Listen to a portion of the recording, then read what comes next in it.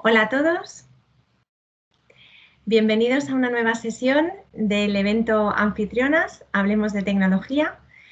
Mi nombre es Cristina González Herrero, soy Community Program Manager de Microsoft, del programa MVP eh, Most Valuable Professionals. Llevo varios años trabajando con la comunidad técnica y estoy encantada de poder contribuir a este evento para visibilizar el talento femenino en el sector tecnológico.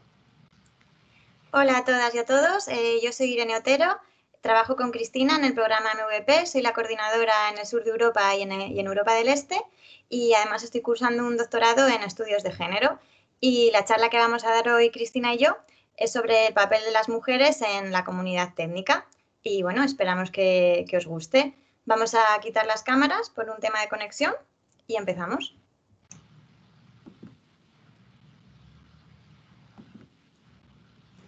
Bueno, pues ¿de qué vamos a hablar hoy? Eh, bueno, para entender las, las, barreras que las mujeres encuentran en, la comunidad técnica, hay que entender un poco cómo se reproduce la desigualdad en sociedades formalmente igualitarias. ¿Qué significa esto? Esto significa que actualmente se presupone que hombres y mujeres tenemos eh, las mismas oportunidades, es decir, accedemos a la misma educación y tenemos unas leyes igualitarias que de hecho defienden la no discriminación por sexo. Entonces, eh, pues, ¿cuál es el problema? Eh, ¿Por qué hay una brecha de género en la comunidad técnica y en muchísimos otros sectores, por no decir en todos? Bueno, pues para entenderlo vamos a contextualizar la cuestión de la desigualdad y a intentar identificar los sesgos, inconscientes normalmente, que conlleva y los mecanismos por los que se mantiene. Vale. Bueno, antes de nada, eh, pues vamos a, vamos a, intentar darle un poquito de, contexto histórico. Y últimamente eh, escucharéis por ahí que el tema de los derechos de las mujeres, el pensamiento feminista incluso, pues es algo que, se ha puesto de moda, una moda pasajera de, estos últimos años. Eh, entonces, eh, y, además, y muchas veces incluso que se asocia a determinados partidos.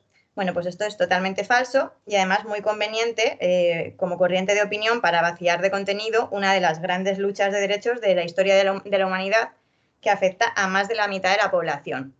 Yo en este sentido soy muy pesada siempre, eh, pero bueno, es que es la clave del asunto y no me importa serlo, porque las mujeres no somos un colectivo, ni una categoría de diversidad, ni una minoría que sufre una discriminación puntual las mujeres somos más de la mitad, más de la, mitad de la población normalizando una desigualdad estructural. Entonces vamos a empezar como con esta frase para entender un poquito el recorrido histórico. Todos los hombres nacen libres iguales. Pues muchos de vosotros reconoceréis el primer artículo de la Declaración de los Derechos del Hombre y el Ciudadano, que es un emblema del pensamiento democrático, de la igualdad y de la justicia frente a la sociedad anterior, que era la sociedad del antiguo régimen. Entonces, bueno, eh, no vamos a hacer una clase de, historia, pero sí vamos a hacer un pequeño recordatorio sobre, sobre este momento histórico de, del todos los hombres nacen libres e iguales, que además es muy ilustrativo en, el caso de, bueno, de esta lucha de derechos ancestral, ¿no? que son los derechos de, las mujeres. Entonces, bueno, pues estamos en la Revolución Francesa, que es un fenómeno histórico muy complejo, pero que, bueno, se puede resumir como que eh, la nobleza, o sea, hay un sistema, está, el sistema de gobierno es el sistema estamental, hay un antiguo régimen donde la nobleza y el clero pues eh, se supone que gobiernan por un derecho divino, ¿no? Y pues eh, el pueblo, que es la inmensa mayoría de la población, por una serie de factores, en mitad de una hambruna terrible, pues eh, se levanta, hay una revolución y se levantan contra el régimen feudal. Entonces, en este momento, las mujeres son una parte, una parte clave de la revolución no es algo que os cuente yo, es, eh, por ejemplo, eh, Miquelet, el historiador francés, tiene un libro que se titula Las mujeres en la revolución. Eh, la prensa representaba a las mujeres con imágenes de, bueno, pues de heroínas como Juana de Arco, porque las mujeres estuvieron presentes en la toma de la Bastilla, financiaron parte de la revolución y lideraron, de hecho, la marcha de Versalles. Si buscáis las imágenes con las que se representa la, marcha de Versalles en la prensa en aquel momento, son todo, pues, amazonas, guerreras, o sea, había una exaltación de, la lucha de las mujeres eh, tremenda en ese momento. Entonces, bueno, estamos como, como en este punto y, llegamos a, pues a un nuevo modelo, un nuevo paradigma social que se basa en el todos los hombres nacen libres iguales. entonces, ¿qué pasa? ¿Y las mujeres? ¿Las mujeres también nacen libres iguales? Pues cuando las reivindicaciones de las mujeres se, convierten ya en cosas concretas, ¿no? Como ser simplemente ciudadanas, es decir, tener derecho a tener propiedades, tener derecho a trabajar, tener derecho a, asistir a la escuela, a una educación, esto se les niega tajantemente a las mujeres en el Parlamento francés, eh, por todos los grupos, además. Eh, se presentan distintos proyectos de, instrucción, distintas eh, alternativas y en ningún caso simplemente se añade una coletilla que dice algo así como que todos los hombres nacen libres iguales, excepto si se conviene que por, el bien común tiene que ser diferente y se decide que las mujeres pues mm, tienen que, que, que, la ciudadanía podría alejar a las mujeres de, eh, bueno, pues de sus funciones naturales, que en este caso pues son las funciones domésticas, la casa, los cuidados, etcétera, etcétera. Y las mujeres, después de toda esta exaltación, de todas estas imágenes de heroínas a caballo, de, mm, bueno, de Juanas de Arco, ¿no? de, de la vida, eh, pues acaban totalmente excluidas de, en un, imaginaros, en un modelo que representa la libertad, la igualdad, la justicia, rodeadas de consignas que no paran de repetir eh, estas palabras, se les dice que ellas van a seguir en casa y van a seguir sin derechos. Y este es uno de los grandes fracasos, un poco de, de la revolución en este sentido. Y bueno, por supuesto, muchísimas mujeres eh, siguen, y, varios hombres también, siguen intentando conseguir la lucha. Y no me enrollo más con este tema, pero os adelanto que la mayoría acaban en la guillotina. y bueno, para que os hagáis un poco una idea de desde dónde empieza, o sea, esta es la primera vez, de hecho, históricamente que se, las mujeres se constituyen como sujeto político, en nosotras las mujeres, reivindicando unos derechos a partir de ahí esto se sucede muchas veces en la historia, la cuestión femenina, el sufragio universal, etcétera, etcétera. Bueno, perdón, el sufragio de las mujeres, etcétera, etcétera. Y bueno, hasta nuestros días. Entonces, ni es una moda ni es una novedad. Los derechos de las mujeres son, es una lucha histórica con eh, unas reivindicaciones propias y un recorrido muy largo y, muy teórico también y, y bueno, de mucha lucha en muchos sentidos. Pasamos a la siguiente. Bueno, entonces, ¿qué hay bajo la desigualdad estructural? Pues bajo la desigualdad estructural hay unas, hay unas em, estructuras sociales, o sea, perdón, unas eh, construcciones sociales como muy rígidas, entonces, eh, y, muy ancestrales, eh, en el que las mujeres somos diferentes a los hombres. Esta construcción influye en cómo nos vemos nosotras mismas y en cómo y en la idea social de lo que es una mujer. Y es esencialista, es decir, por ser una mujer, tú ya tienes, digamos, eres diferente a un hombre, tienes una esencia diferente, unas cualidades diferentes, unos, unos talentos diferentes y unos roles sociales, total, unos roles sociales y unas aspiraciones, un ideal totalmente diferente al que tendría un hombre. Y diréis, bueno, pero esto está cambiando. Bueno, sí, esto ha cambiado. Esto evidentemente en las leyes, pues ya no te van a poner la coletilla como los de la como el, todos los hombres nacen libres iguales, las mujeres no, pero se reproduce de otras maneras. Esas esencias, esas construcciones siguen de alguna manera vigentes en la sociedad. Entonces, a esto es a lo que llamamos determinismo biológico, que es una estrategia muy habitual en cualquier desigualdad estructural, y bueno, también es a lo que llamamos sexismo, y bueno, la buena noticia es que el sexismo y las construcciones culturales pues se pueden cambiar. Entonces, aquí tenemos un esquema muy sencillito, ¿vale? De cómo percibimos socialmente a los hombres y a las mujeres. Entonces, veréis, por ejemplo, pues las cualidades típicas que se atribuyen a los hombres. Los hombres se consideran eh, seres más lógicos, racionales, dominantes, estratégicos, independientes, más justos y además los que toman las decisiones, ¿no? Esto es muy interesante también en relación al tema empresarial, eh, mercado laboral, etcétera, etcétera. Las mujeres, pues intuitivas, emocionales, con una inteligencia más ligada a la astucia, a lo mejor que a la excelencia, más sumisas, espontáneas, cuidadoras, esta es una de las claves, tolerantes, cooperantes y sobre todo grandes apoyos. O sea, los hombres son los líderes, las mujeres son los apoyos. Aquí hay una subordinación. Entonces, ¿cómo se, cómo se consigue ¿De dónde sale esta percepción? Pues esta percepción sale de una socialización muy diferente para hombres y mujeres. Y diréis, no, pero bueno, esto no es así, porque ahora ya, ahora hay de todo, esto no, no es algo tan claro, como, tan claro como antes. Bueno, ¿cómo funciona el proceso de socialización? Pues el proceso de socialización de una mujer funciona así. Uy, ay, no se me carga. Cris, ¿tú lo ves?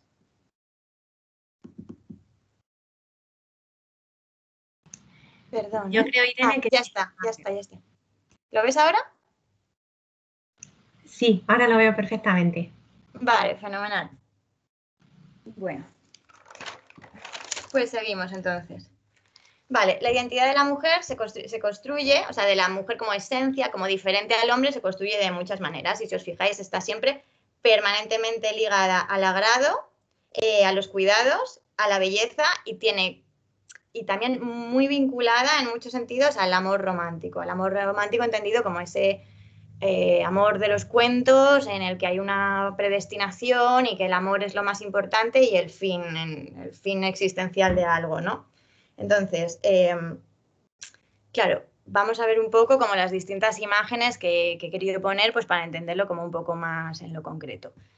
Eh, la socialización no es un, proceso que suceda solo en la familia, la, socialización, perdón, es un, proceso global en el que entran referentes culturales, entra el colegio, entra educación, entra mm, miles de cosas. La familia también, pero quiero decir, es un proceso mucho más, una inmersión, digamos, ¿no? en, la que se desarrolla el individuo. Entonces, en este caso, pues bueno, querido poneros el ejemplo de eh, un, tipo de, juguete, ¿no? Que siempre está muy ligado al cuidado, suave, blandito, eh, juegos de lógica. Normalmente no se puede comparar eh, los juegos de lógica que se regalan a las niñas con los juegos de lógica que se les regalan a los niños. también está el otro modelo de muñeca, un poco el modelo de muñeca hipersexualizada. La literatura, este stand que os pongo aquí, que es el stand del Día de la Madre, por ejemplo, no tiene nada que ver con un stand el estanque sería el del Día del Padre, no, no sé si se ve bien, pero bueno, todos los libros que hay aquí son de belleza, de salud, novela, digamos, un poco bestseller femenino, ¿no? De amor, de tal. Eh, bueno, los referentes culturales con los que crece una niña, pues he puesto aquí a, a Miley Cyrus, ¿no? En el vídeo este de, de, la bola. Vamos, yo en mi época, pues os podría decir a Britney Spears con, con sus trenzas de colegiala y demás, ¿no? Siempre muy ligado todo al agrado, ¿no? Y a, la sexualización, en el, caso de los adolescentes, incluso mirar esta imagen del poder, el poder de la mujer. ¿Qué veis aquí? ¿Veis aquí una mujer, una excelencia, una mujer hacker, una mujer brillante dando una conferencia? No, que vemos, vemos unos tacones, ¿no? En ese poder ligado a, la sensual, o sea, que ya es esa especie de sensualidad como medio de poder, ya retirado, digamos, del talento, de la excelencia en sí y de esa otra inteligencia del debate frontal y del brillo, ¿no? Del, brillo real de, la inteligencia.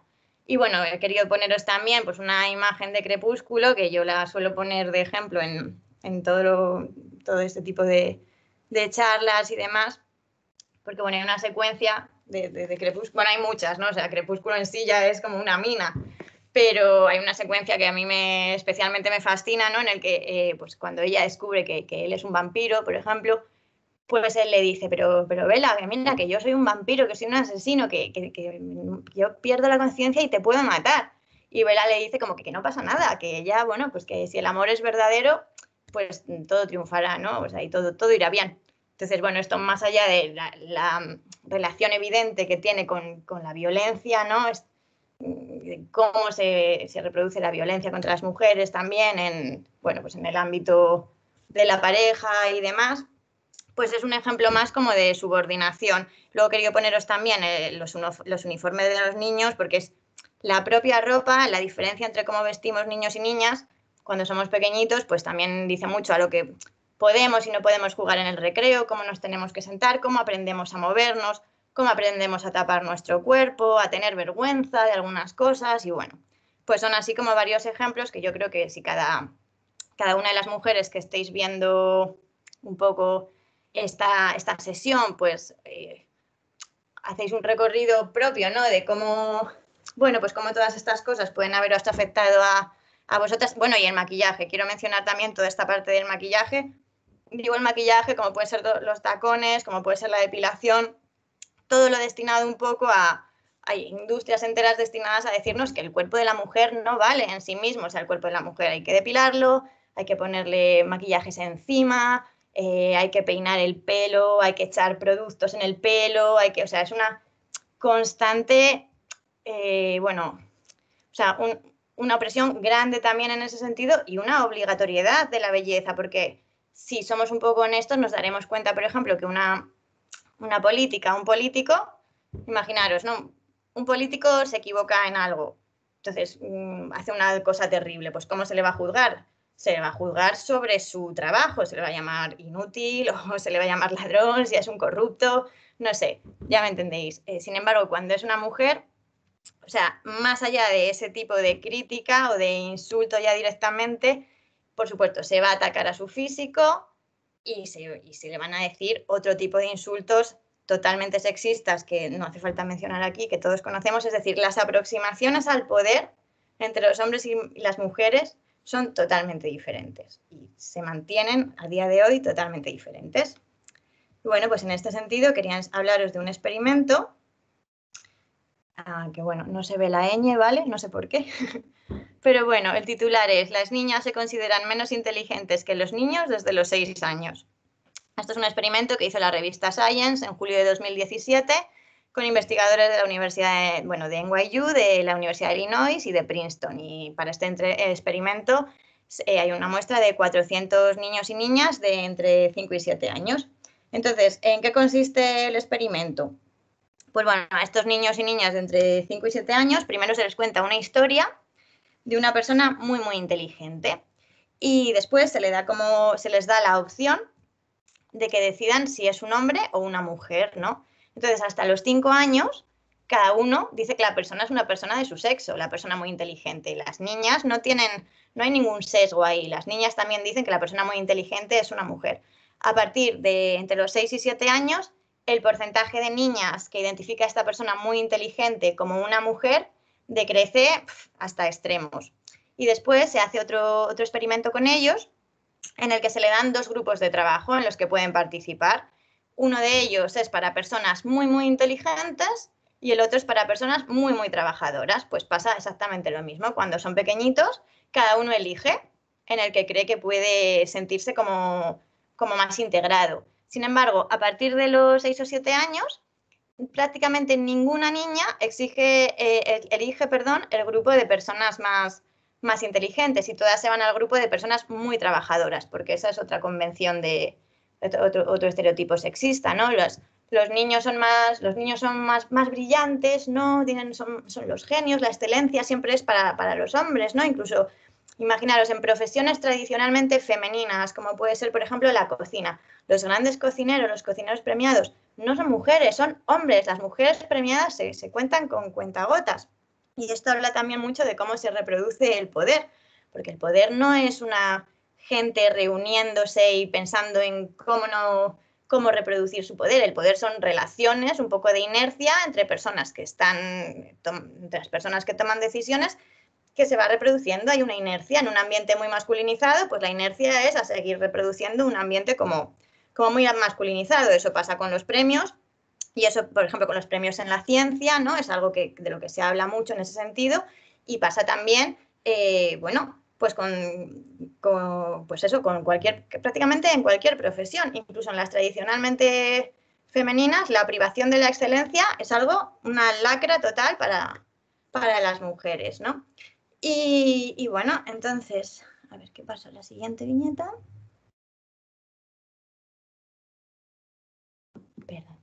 Entonces ahora vamos a hablar eh, también, bueno, pero dices, bueno, las mujeres adultas, pero también ahora todo ha cambiado, no sé qué, es diferente. Eh, bueno, pues vamos a ver cómo todo tampoco ha cambiado tanto, ¿vale? Lo, femenino se sigue considerando algo como secundario y, muchas veces con un, con un matiz negativo, ¿no? Entonces he querido recopilar aquí algunas, algunas noticias en las que esto pues queda, vamos, totalmente em, eh, vamos, pues expuesto. Entonces aquí tenemos, pues bueno, una del correo, al presidente se le dice, no llores como una mujer lo que no supiste defender como un hombre. Vamos a ver, porque las mujeres no saben defender, claro, las mujeres lloran, por ejemplo, bueno. Después, los Juegos Olímpicos, eh, pues a los deportistas se les da un trato pues de, lo que son, ¿no? De estrellas del deporte y demás. A las deportistas mujeres, la lista de buenorras internacionales en los Juegos Olímpicos de Río. Esto es todo real. Luego, este otro eh, es de un... Mm, perdón, del, mm, de, no tengo el, no recuerdo ahora de qué medio es este, no lo tengo puesto aquí, eh, pero vamos, es de un medio asturiano, ¿vale? Entonces, eh, aquí se, refieren a Siri Hasbeth como la mujer de Paul, Auster, eh, después de que ella estuviera allí porque acababa de recibir el premio Príncipe de Asturias. Entonces, aún así, ella es la mujer de Paul Auster. Y luego está último, que es del país de hace muy poquitos días, bueno, pues como veis es de una, de una, chica muy joven que la ha captado un grupo terrorista eh, y, bueno, pues la han detenido justo antes de irse a Siria a, casarse para luchar en la yihad. Entonces, bueno, ya no es que no se ahonde en por qué una chica tan joven, bueno, para empezar, en el destino que iba a correr esta chica en Siria y y en por qué ha llegado ahí no se trata de eso, ni de que no se hable de la gravedad un poco, de, la seriedad de, pues de, una cosa como que le haya captado un grupo terrorista, sino que la, el enfoque de la noticia es que, em, no sé si lo leéis, eh, pero bueno, que cambió el traje de fallera por, eh, por, el, por el ¿no? Entonces que en su pueblo la llamaban la de negro. Al final, pues reducimos a, a los volantes y a las enaguas de fallera una cosa tan grave, pues como pues como lo que le ha pasado a esta chica o lo que podría haber hecho esta chica, ¿no? Si se hubiera ido. Y, bueno, pues son ejemplos de cómo se nos dice que no estamos al mismo nivel de excelencia y cómo se nos dice en, de muchas maneras, ¿no? En, el sistema actual. Y entonces, bueno, eh, pues si, claro, si, si, la excelencia técnica y el liderazgo, ¿no? Son eh, valores claves en la comunidad pero se consideran, consciente o inconscientemente, como veremos ahora, cualidades masculinas, pues cuál es el camino para, acabar con los estereotipos. Entonces ahora Cristina os va a contar un poco pues, alguna de las medidas que, estamos gestionando pues, para, para tener una comunidad más paritaria. Muy bien, gracias Irene. Pues sí, la verdad que es un tema apasionante. Y un poco retomando al hilo de lo que has venido contando hasta ahora de cuál es la percepción de la excelencia, eh, la percepción que tenemos nosotras mismas de, la excelencia y la percepción que se tiene generalmente en la sociedad, eh, pues os voy a, contar un caso muy interesante de un experimento que se llevó a cabo en la Universidad de Yale en el año 2012 y que intentaba evaluar eh, o investigar un poco eh, cuál es el sesgo que se tiene en este caso en el sector académico. Entonces la Universidad de Yale llevó a cabo un estudio en seis universidades norteamericanas en tres estados diferentes Tres de ellas eran universidades privadas y las otras tres universidades públicas, todas universidades muy prestigiosas. Y para ellas eh, eligieron un grupo de 127 profesores del área de ciencias, eh, que me parece que era el área de física, química y biología, más o menos la mitad de ellos hombres y la otra mitad mujeres.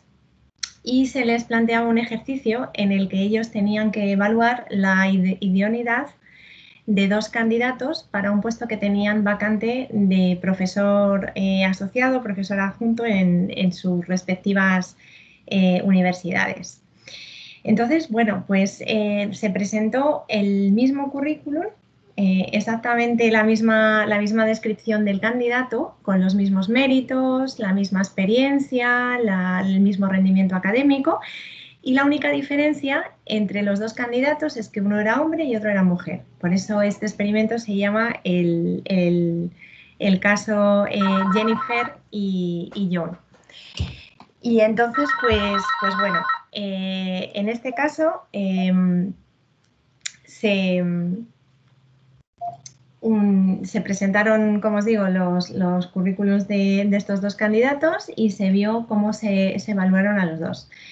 Y en todos los casos, eh, la evaluación de John fue mejor que la evaluación de Jennifer, independientemente de si la persona que lo estaba evaluando era hombre o era mujer. Lo cual, pues bueno, de alguna manera nos muestra que concretamente en este ejemplo en el que, en el que se está hablando de una excelencia en el mundo científico, eh, se comprobó que sí existe un, sesgo de género. Me vais a disculpar, por favor, que está aquí sonando el teléfono ahora mismo.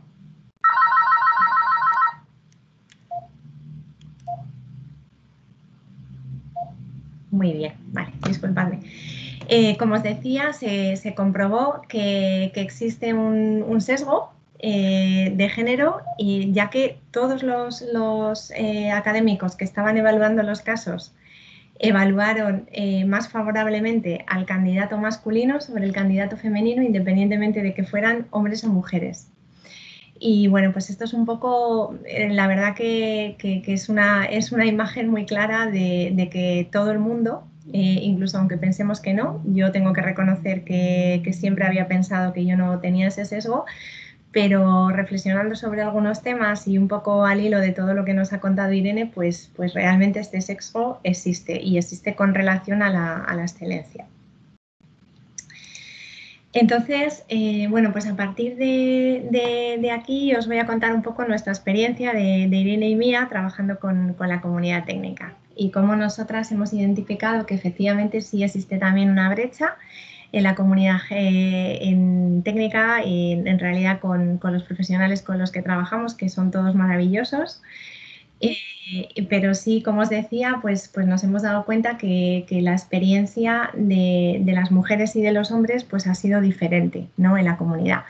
Y empezamos, mm, Irene y yo, pues hace como un año y medio más o menos, teniendo una ronda de conversaciones y, una serie de mesas redondas en las que pues hemos intentado investigar un poco sobre todo cuál es la experiencia de, las mujeres en la comunidad técnica y en, general en los programas de comunidad en los que trabajamos y ver un poco mm, cuál es eh, la raíz del, problema, un poco intentar ahondar un poquito en, por qué nosotras hasta ahora ah, nos habíamos dado cuenta de que aunque sí hay muchas mujeres eh, profesionales en el sector de la tecnología, en el sector IT, realmente en la comunidad técnica hay una predominancia masculina abrumadora.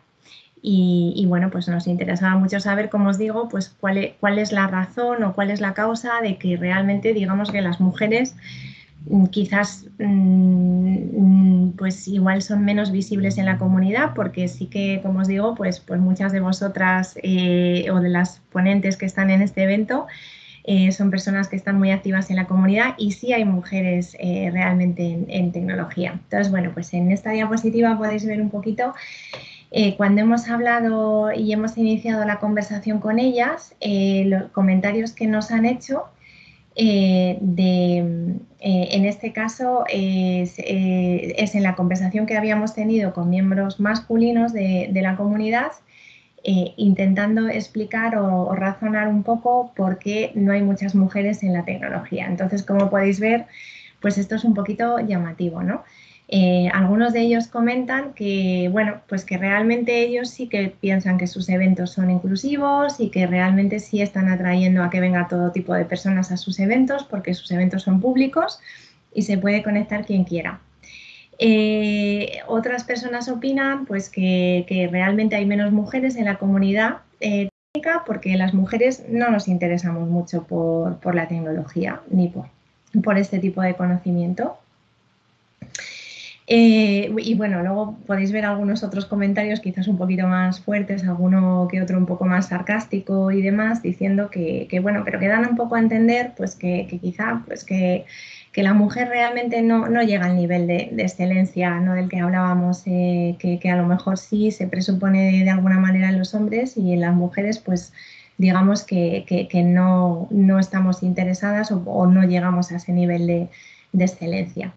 Y luego también, pues, pues hay personas a las que les choca pues que, realmente haya eventos como, como, este, ¿no? En el que se intenta dar un espacio para que, para que mujeres en este caso, pues, pues podamos hacer una, charla técnica, incluso muchas de, las ponentes, pues este, en este evento, pues van a dar su primera su primera charla o van a tener una primera experiencia hablando en público, ¿no? Entonces eh, aquí también pues hay personas que no les parece, digamos que, no les parece bien la discriminación positiva.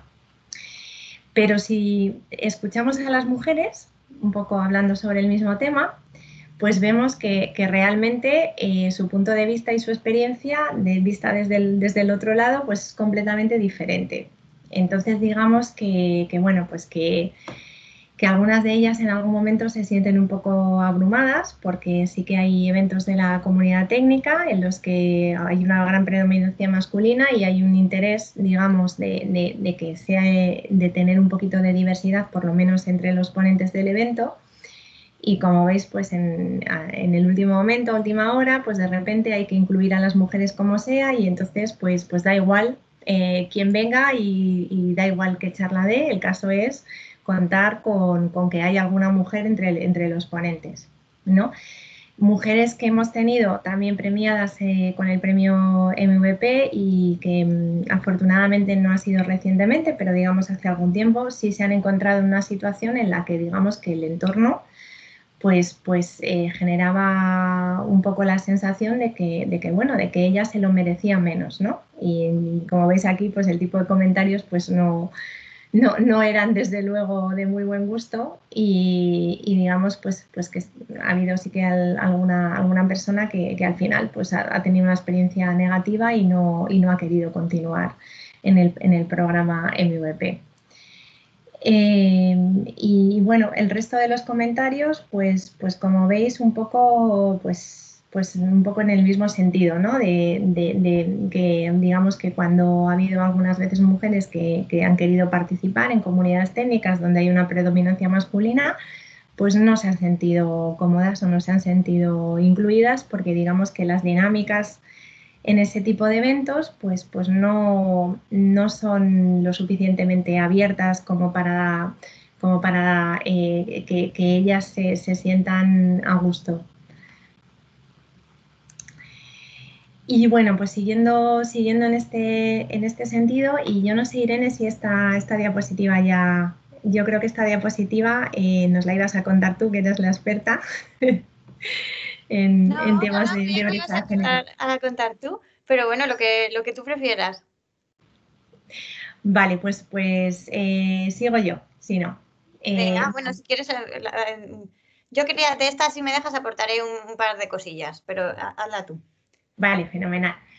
Pues eh, bueno, nosotras sí que le hemos estado dando vueltas al tema eh, y un poco viendo qué hay detrás de, la brecha de género, ¿no? Y por qué eh, realmente las mujeres que se acercan a la comunidad técnica, o que no todas, pero sí que en algunos casos, eh, no se han sentido incluidas. Entonces hay una serie de aspectos que, tenemos que tener en cuenta y que tenemos que cuidar de alguna manera para, intentar que, comience a haber pues, pues un, entorno más eh, equitativo en cuanto a género.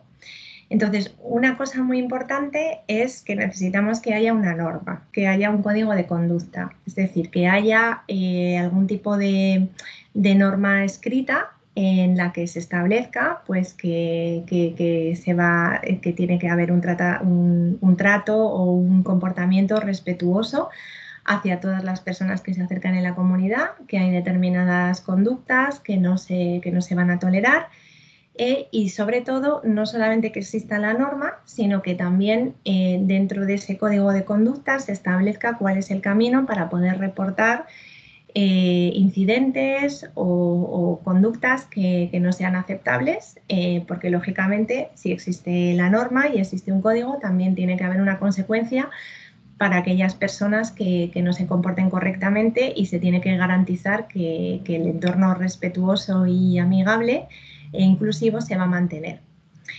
Redes de mujeres. Bueno, pues esto hace referencia un poquito a, cómo las mujeres pues vamos haciéndonos contactos, ¿no?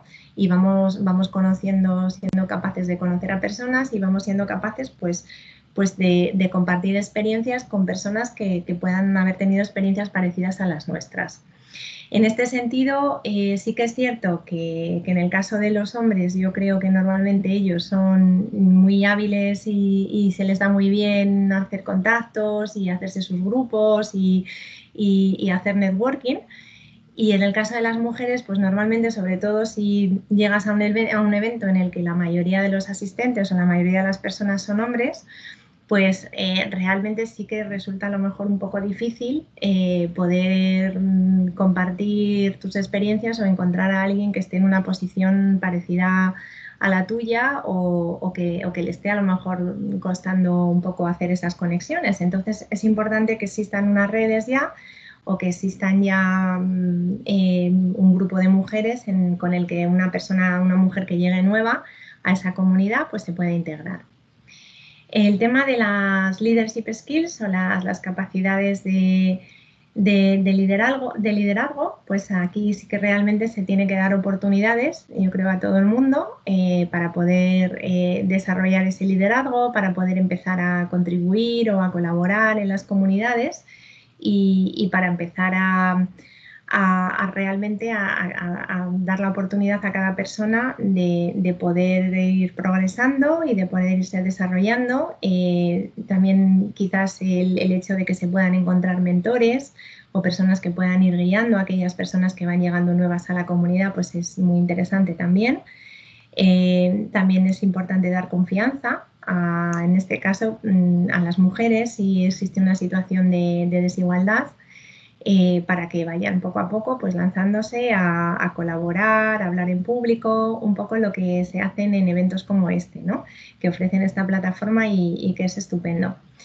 Eh, una parte importante también eh, es los role models. Role models quiere decir pues, que necesitamos referencias y en el caso de las mujeres pues necesitamos ver pues que ya hay otras mujeres que lo están haciendo fenomenal, que, son líderes, que son excelentes, que, tienen un papel eh, fundamental o, predominante en la comunidad y, que, y con los que nos podamos identificar tanto las mujeres que ya están dentro de la comunidad como aquellas mujeres que están buscando pues, un lugar donde poder aprender y donde poder desarrollarse y, que tienen que ser role models que sean reales y que sean válidos para ellas.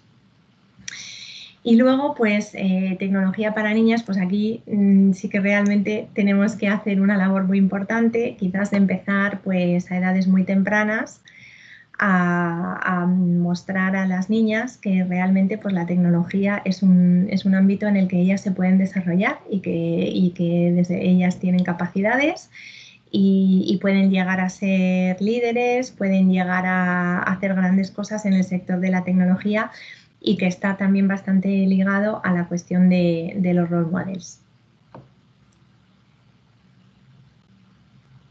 Así que Irene, si quieres, pues te, doy la palabra. Bueno, ya en realidad lo has dicho todo tú. Quería simplemente sobre el tema de los role models, pues compararlo, comparar un poco.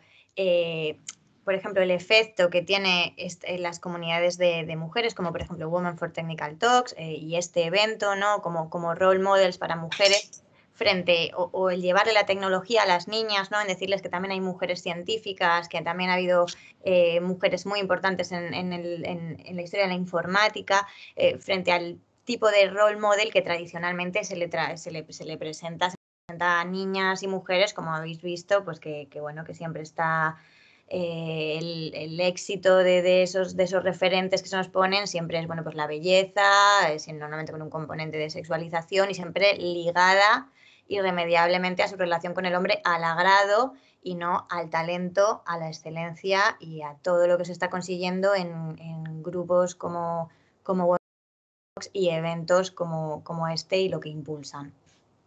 Ya está, solo era eso. Fenomenal.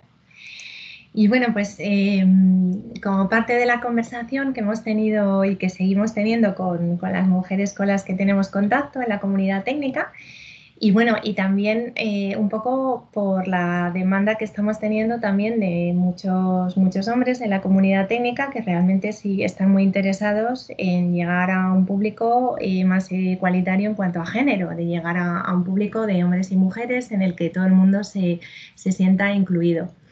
Y en este sentido, pues sí que eh, hemos identificado una serie de, buenas prácticas o de aspectos que son interesantes cuidar a la hora de organizar eventos y que van un poco en, dos vertientes diferentes. Por un lado, eh, eh, atraer a más público femenino, a mujeres en el sector tecnológico, a, estudiantes eh, y que realmente pues sí son, están activos en, ese sector, tienen muchísima experiencia algunas de ellas, otras son recién licenciadas y quieren seguir aprendiendo y quieren seguir formándose y quieren participar y estar activas en la comunidad.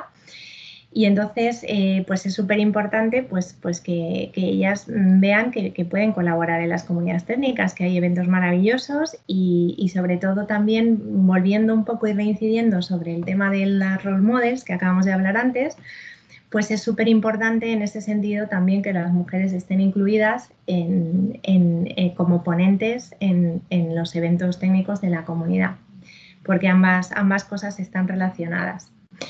Entonces, pues bueno, voy a empezar por la parte de las mujeres ponentes, que yo creo que es súper interesante, puesto que estamos aquí en un evento técnico que está dando un espacio para que las mujeres estén visibles en, la comunidad técnica y en el sector tecnológico.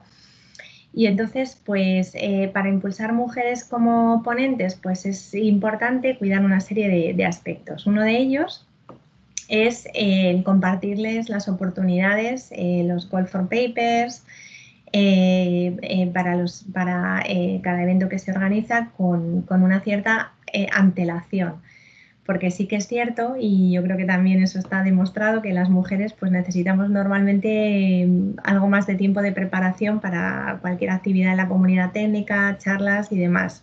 No solamente por la sobrecarga de trabajo y por cuestiones a lo mejor más personales y familiares, sino porque realmente eh, si nos lleva más tiempo preparar las charlas, necesitamos estar muy seguras y tener, y tener realmente la charla muy, muy bien preparada y muy bien perfilada para lanzarnos a hablar en, un evento técnico.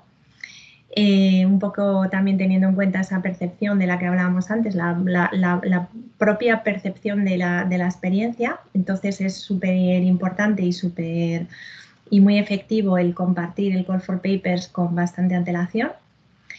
Em, también hay veces en las que, bueno, pues hay mujeres que conocemos que son expertas en un tema específico, que son súper buenas hablando de ese tema, pero que a lo mejor si no las invitamos directamente y no vamos directamente a buscarlas, pues no se van a animar a, a dar una charla, pues porque a lo mejor piensen que ese tema no interesa o porque realmente estén haciendo otras muchas cosas y se les pase el call for papers. Entonces, a veces sí funciona muy bien si conocemos a alguien que es muy experto y que sabemos que va a dar una charla muy buena sobre un tema en concreto, pues ir directamente a, buscar a, esa ponente que, queremos que esté en nuestro evento.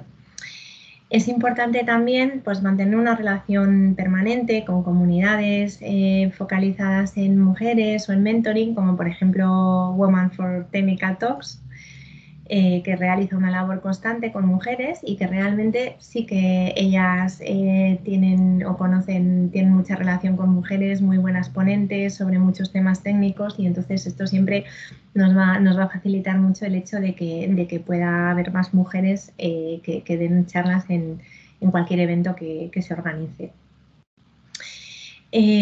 luego, una vez empezado el evento, pues, pues también es muy importante la bienvenida eh, al principio del evento, pues eh, si a lo mejor señalar si hay actividades que estén más orientadas a, personas nuevas que se incorporan al evento, de comunidad, o si vemos que, por ejemplo, hay pocas mujeres y hay actividades de networking que se puedan ofrecer.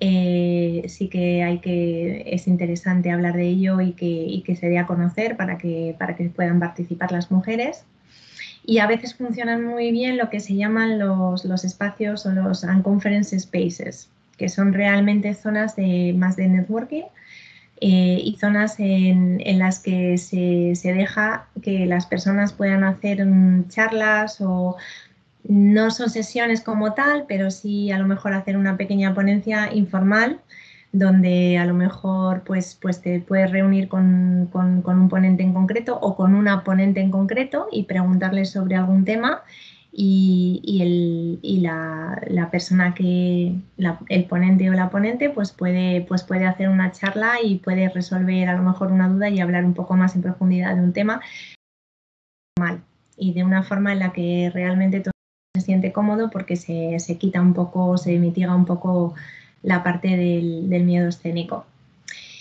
Y, bueno, y para impulsar la, eh, el que exista un mayor porcentaje de mujeres al evento, la presencia femenina en los eventos, pues súper importante el código de conducta, que esté visible, que esté colgada en la web del evento y que esté bien estructurado y en el que no solamente se definan cuáles son las, las conductas que se esperan en el evento y qué conductas no son aceptables, sino que también eh, se especifique pues, cuáles van a ser las consecuencias en el caso de que, haya cualquier tipo de, conducta, eh, digamos que sea no inclusiva, que sea, que sea una falta de respeto o, un insulto. O, que realmente se trate de manera vejatoria a alguien o se hagan comentarios de tipo sexista, racista o donde, donde se intente excluir a alguien por cualquier motivo pues que realmente sí se especifique cuál va a ser la consecuencia eh, y cuál es la vía a seguir para reportar ese tipo de conductas y que se pueda garantizar un entorno respetuoso e inclusivo en el evento. Em, es muy importante también que, dentro del grupo de organización del evento, las personas que organizan el evento, pues haya si una cierta, lo ideal sería que hubiera paridad entre hombres y mujeres, pero si no se llega a la paridad, sí por lo menos que haya presencia femenina en el equipo de organización del evento, porque esto nos va a garantizar que estamos contemplando distintos puntos de vista y que realmente estamos cubriendo a lo mejor una serie de aspectos que, van a hacer que el evento sea más atractivo para que vengan mujeres. Eh, algo que funciona muy bien también, si queremos que acudan más mujeres a los eventos técnicos, es que se deje una serie de entradas reservadas y que se ofrezcan con anticipación a esas comunidades de mujeres con las que a lo mejor estamos en contacto o que conocemos o, con a las que tenemos interés en invitar para garantizar pues que, que, sí vamos a tener personas que vengan de esas comunidades y que sean mujeres en este caso al, al evento.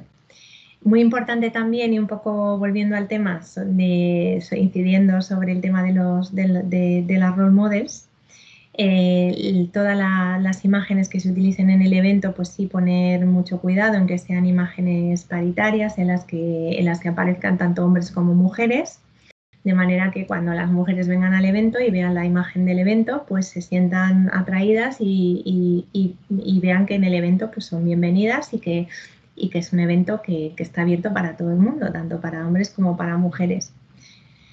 Y eh, algo que funciona también muy bien es en, eventos en los que realmente el porcentaje de mujeres es bajo o desde luego no se llega a la paridad en cuanto a hombres y mujeres, eh, pues a lo mejor poner algún punto de encuentro, algún espacio en el evento en el que a lo mejor pues las mujeres en algún momento del evento se puedan reunir y puedan hacer networking y puedan, puedan conocerse y, y esto realmente aporta también un valor añadido al evento como tal. Y bueno, pues con esto vuelvo a dar paso a Irene. Gracias, Cris. Eh, bueno, pues un poco para comentaros las conclusiones que, hemos sacado de, la presentación. Eh, bueno, pues que para, conseguir una comunidad igualitaria hay que identificar los factores que hay en la brecha de género, es decir, las exclusiones nunca son explícitas y muchas veces no son conscientes ni buscadas. O sea, no, no, no estamos hablando de buenos ni de malos, o sea, los sesgos están ahí, es algo que tenemos que ser conscientes y hay que luchar contra esos sesgos, proactivamente, ¿vale? Entonces, eh, una vez que están identificadas, pues es imprescindible escuchar a las mujeres para identificar los motivos que, las mantienen o las han mantenido hasta cierto punto alejadas de, de, la comunidad y lo que han encontrado a veces, ¿no? Que es lo que han hecho que o bien no se acercaran o bien cuando han llegado se hayan alejado es muy importante que las mujeres lideren sus propias iniciativas, eh, porque al final es desde donde se construyen unas redes sólidas y desde donde se pueden perfeccionar todos estos temas de, mm, sobre todo de, leadership skills, porque el problema con las, con las mujeres en la comunidad técnica no tiene nada que ver con la parte técnica. Es una parte pues, de, bueno, de todo lo que hemos hablado, de la privación de la excelencia y de muchas otras cosas que hemos hablado con las que tiene que enfrentarse una mujer cuando sube, por ejemplo, al escenario a, dar una charla, de otro tipo de, a lo mejor, de comentarios que, que no tiene que afrontar un hombre, eh, bueno, para poder trabajar esas, habilidades y esa seguridad y además también para construir, para construir proyectos propios. Luego, si os dais cuenta, en cuanto una mujer llega a una posición de visibilidad y de excelencia en la comunidad, eh, esto rueda solo. O sea, no, ahí ya no entra mm, una política de paridad ninguna. A esta mujer se le llama porque es brillante, porque es muy buena en lo suyo y simplemente digamos que, que estas medidas cambian esa entrada, ¿no? Esa puerta por la que a veces es, difícil entrar. Luego todo se desarrolla con, bueno, pues como se desarrolla la comunidad con, normalidad. Y, bueno, queremos deciros también que aunque los cambios estructurales pues requieren tiempo y bueno, ya os digo que la, lucha por los derechos de las mujeres es, siglos y siglos, eh, en realidad ahora sí estamos notando pues un cambio bastante significativo gracias a las actividades que se están realizando y a estas redes que, se están tejiendo entre mujeres, un cambio significativo de mujeres que, se están acercando. Nosotras estamos recibiendo muchas más solicitudes para, el programa, vemos que además empieza a haber muchas más mujeres speaker y sobre todo muchas más propuestas de mujeres speaker en grandes eventos eh, luego a veces se seleccionan, a veces no, eso también sería otra conversación más larga. Y bueno, por nuestra parte decir también que, que bueno, a todas las MVPs mujeres que estamos nombrando, pues eh, les estamos hablando de, estas redes, les animamos a formar parte de ellas y del impulso por una comunidad eh, más igualitaria y, más justa para todos, porque todos salimos ganando al final con, con, bueno, comunidades más abiertas de, de todo tipo. Y bueno, no sé si Cristina quiere decir algo más. Bueno, pues con esto yo creo que hemos llegado ya al final de la presentación. Gracias, Irene. Esperamos que os haya gustado y realmente pues simplemente comentaros que para, nosotras, tanto para Irene como para mí, pues este es un tema realmente que, nos, eh, nos motiva mucho porque realmente es muy importante que todo el mundo esté incluido y encontrar distintos puntos de vista, sea en la comunidad técnica, sea a nivel profesional, dentro del trabajo, dentro de, la actividad que desarrollemos cada una. Eh, y también, bueno, en el entorno privado y demás ahí ya es diferente porque los lazos familiares tienen, tienen dinámicas distintas también, pero sí es muy importante para contribuir a tener una sociedad más igualitaria y una sociedad en la que todo el mundo sea capaz de desarrollar su, enorme potencial sin ningún tipo de límite ni de barrera, eh, en este caso en cuanto, en cuanto a género, que es en lo que nos hemos centrado en, en la charla de hoy. Y bueno, pues esperamos, esperamos que os haya gustado y, sobre todo pues os animamos a, que eh, sigáis aprendiendo, que estéis súper activas en el mundo tecnológico, que si os apetece eh, empezar a, compartir el conocimiento técnico que tenéis y hablar de las tecnologías que domináis. En la comunidad pues os lancéis a hacerlo, que contáis con Woman for Technical Talks, que es una comunidad maravillosa y para, para, esto en este caso. Y desde aquí, pues eh, yo quiero expresar mi agradecimiento tanto a las personas que han organizado el, evento como a los patrocinadores, a Next Step, eh, Axazure. Y, bueno, pues nada más. Eh, os esperamos que, que os haya gustado y os haya parecido interesante. Muchas gracias. Gracias y, y que tengáis un feliz final de año 2020.